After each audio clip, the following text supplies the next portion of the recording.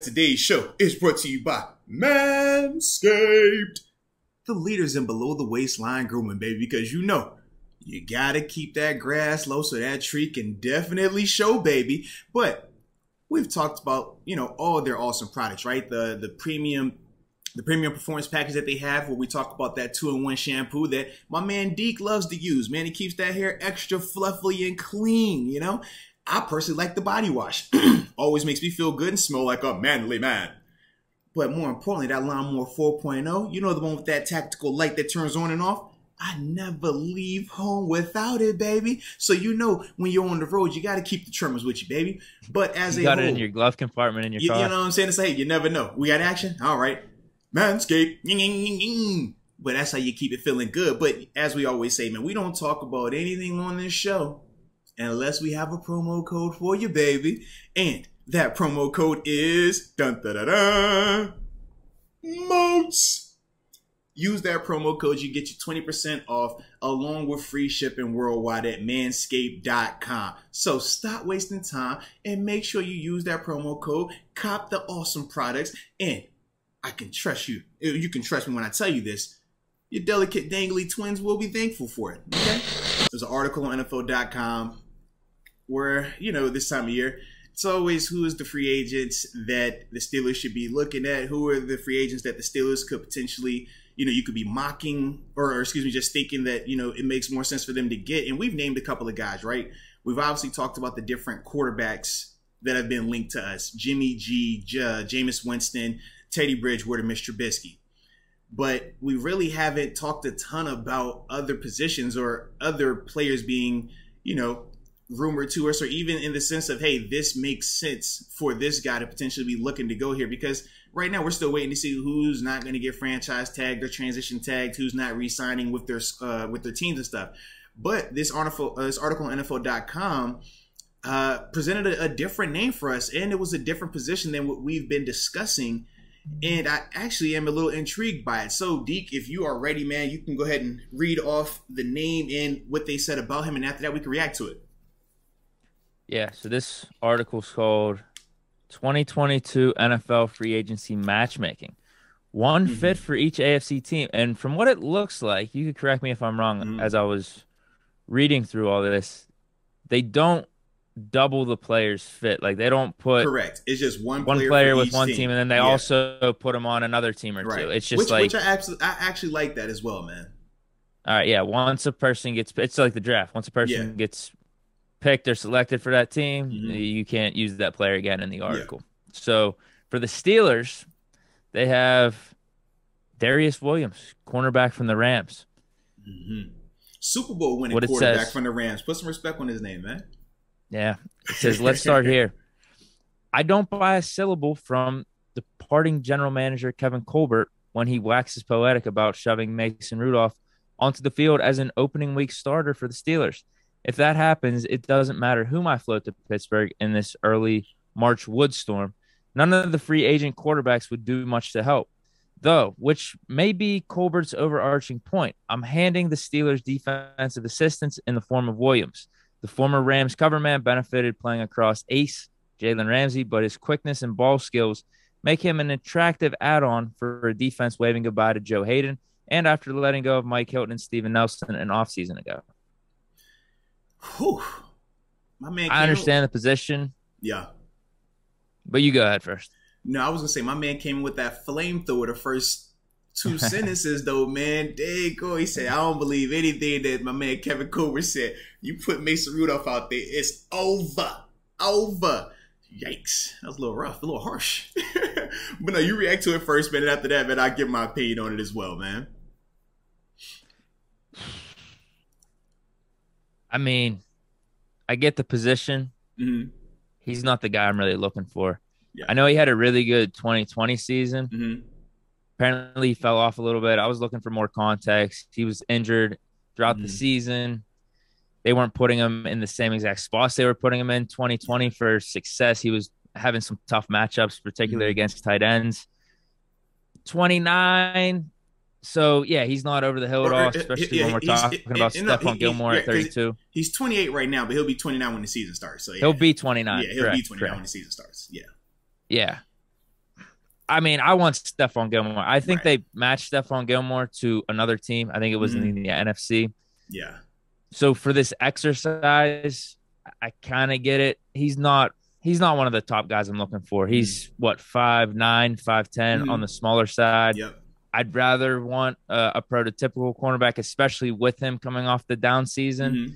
So mixed bag. Like if we get him on a cheap con, I don't want to be spending out the wazoo for him. Right, right. But if we got him on a cheap contract, then fine. Almost like uh, Trae Waynes. Whenever we were okay. talking about the Bengals potentially cutting him, I do yeah. think he is better than Trae Waynes, at least in recent history. But yeah, I, mixed reaction. I, I I don't know. I'm not too gun ho about it. For sure, for sure. So for me, man, I kind of looked at it in a similar light. Obviously, we talk about Stephon Gilmore and J.C. Jackson. Um, just in a way higher vein because those guys are proven number one corners. Those guys are proven that they can follow a receiver, a number one receiver, and still be productive. They generate turnovers. Um, in a sense, they're force multipliers.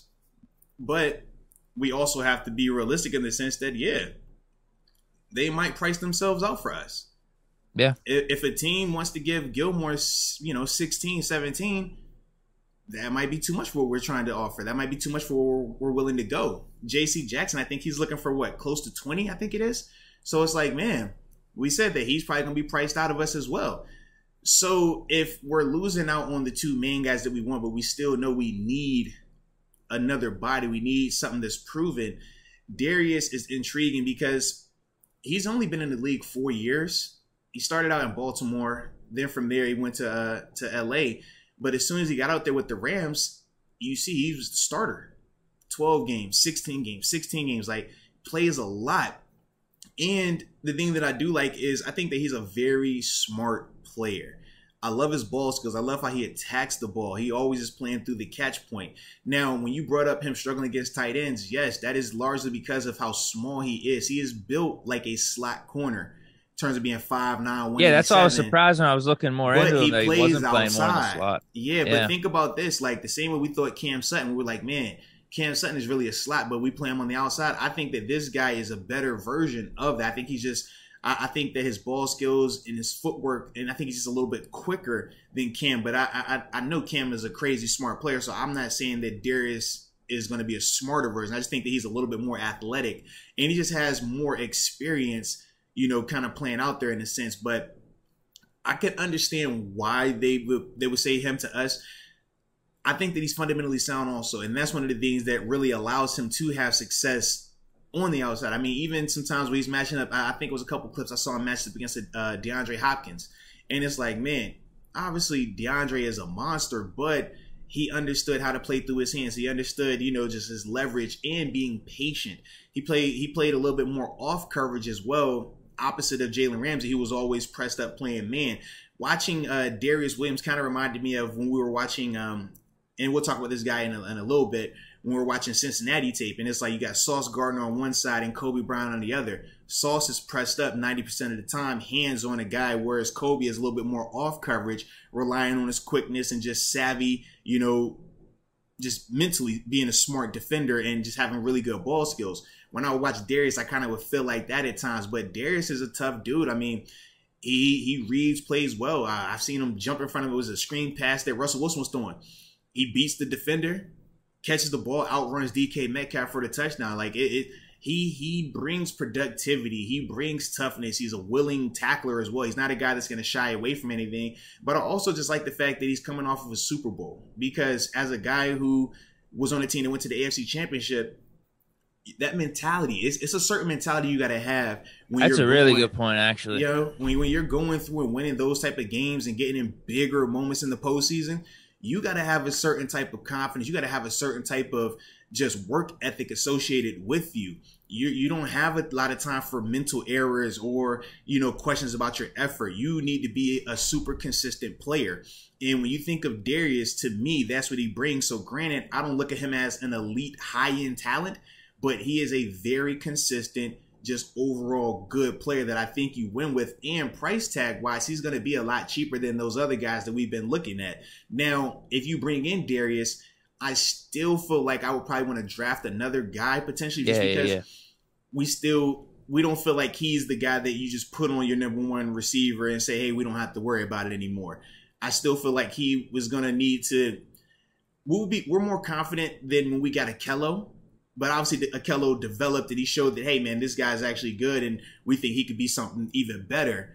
I think with Darious, we would feel a lot more comfortable initially, but I think that we would still want to see him prove a little bit more to us that he could match up consistently against, you know, just top flight receivers on a week in and week out basis. Yeah, all that Super Bowl talk yeah. that you brought up, I really like. I mean, mm-hmm. you brought up like the on field stuff about yeah. having a certain mentality, not mm-hmm. making mm-hmm. mental errors, be focused, knowing what it takes yeah. to win, but also I would add the locker room stuff. I mean, no, we were talking about dude. bringing in a veteran Leadership, receiver man. on offense. Mm-hmm. We could use that on defense too. Yeah, because I mean, always... we have Cam Hayward, but having another voice in there doesn't yeah. hurt, especially a dude that just won a Super Bowl, who knows what it Absolutely, takes, who had man. all those dudes out there with the Rams, mm-hmm. like studs, Jalen Ramsey, yeah. Von Miller, obviously Stafford, Cooper Aaron Kupp, like he was around all that. You, you if he could bring some of that over to bro. here some way, that would help. Like honestly, you see how they practice, you see how they conduct themselves in meetings, and that's one of the biggest things that I will always say that I, I was so fortunate to have in Pittsburgh, man. Being able to come here and you see Troy, Ike Taylor, Lawrence Timmons, James Harrison. You know, you you see Brett Keisel how he will prepare defensively. And you're just like, this is different. Because in Buffalo, we weren't preparing like that. Buffalo was like, all right, we watch our tape you know, we break down a couple plays here and there, and after that, man, we out of there. We're not trying to spend a whole bunch of time, you know, at the facility and stuff like that. But you get to Pittsburgh, and it's like, nah, we're not in a hurry to leave. We don't. They this is their the slogan that we would see in Pittsburgh. We're not clock punchers because in Buffalo was like, man, all right, we come in at 8 a.m. and we leave at 3:30 p.m. That's what it got to be every single day. Pittsburgh, we're like, nah, we don't we don't punch that clock. You know, so if you got to come here at 6 a.m. and we got to stay till 6 p.m. to get it right, we're gonna do that. And it was plenty of times where that would happen. You're just like, bro, this is nuts. But because everybody was so committed to it, when you're out there on that field with these dudes, man, it just hits different because now we're we know how each other is thinking. We know we're not playing football on a rudimentary level. We're playing it on a doctor level. You know what I mean? In terms of just seeing and not just anticipating, like, oh man, what's my job? What, do I got to go to the B gap? I don't care about. I already know my job. I know what my guy next to me's job and the guy to the left me's job. Now we're anticipating. Now we're saying, hey, what's the formation, bro? Oh, okay, you got two by two. All right, man. Learn, learn, learn some process. Oh, you got stacked. Okay, man. Oh, oh, they condense on the backside. Oh, he bursting over here. Oh, it's three by one. Bro, he can only run an inside break and run. We know these things. When I look at Darious at times on tape, I feel similar ways. When I watch how he jumps certain routes, I'm like, you're not doing that if you're not studying film to that extent. You're not doing that if you're not reading you know that information that's across from you and when you start doing that that's how you get guys that take that next step that's how you get guys that may be undersized but are able to play bigger than what they truly are play in positions that you truly want to associate them with that's what i think of when i think of darious man yeah like we talked with flores yeah. worst Absolutely, case man. this raises the standard a little bit maybe mm-hmm. shakes things up he yeah. brings in new ideas being under mcvay mm-hmm. the Super Bowl system that they were in. Yeah, uh, yeah. I, I wouldn't be opposed to it at all. It's just I don't want to be paying like that much money. But this yeah. is the type of signing that maybe goes underrated, goes unnoticed, mm-hmm. but helps a team build for the Super Bowl. Yeah, without a doubt, man. Without a doubt. Yeah, oh. I think that's. Uh, like I said, I don't the easy way. I don't hate it. I just oh, understand like why. I said I don't hate it. I just understand why he could potentially be a guy that oh yeah would, for sure we would end yeah, up I'm with against if it. the other guys are gone. Yeah, yeah. I think the easy thing for this article would have been Stephon Gilmore, J.C. Jackson to the Steelers. I mean, they just could have talked about Flores the whole time. Yeah, in terms of like free agency mm-hmm. matchmaking. But you also got to remember, just, man, just with, do that. but what the Steelers pay what those guys are going to be looking for, and that's the part where we just, even though we got a ton of cap space, I don't know if we're going to be willing to break the bank on those guys like that, man even though I think we should, I just don't think that they will all the way. Juju to the Jaguars. I did notice that, man. That I don't hate that for Juju. I mean, I like it for him. Honestly, you still Not, got nah. You, you got the quarterback. They're gonna lose there. Chark. Yeah, absolutely. You're gonna get an opportunity, man. The weather is good, so you know you really can't complain. And it's a lot less pressure on you playing in Jacksonville than it will be in Pittsburgh. You could do anything you want. TikTok, anything. You know, no one's gonna complain. Yeah, they would love that because it would bring yeah. publicity to the Absolutely, Jaguars. Absolutely, man. So trust me, like it's just a totally different vibe. I tell you, they they got a pool down there. That's how they get the people. Hey, get in the pool, baby. we suck on the field, but get in that pool. The pool looks good. It's like, oh, all right, cool.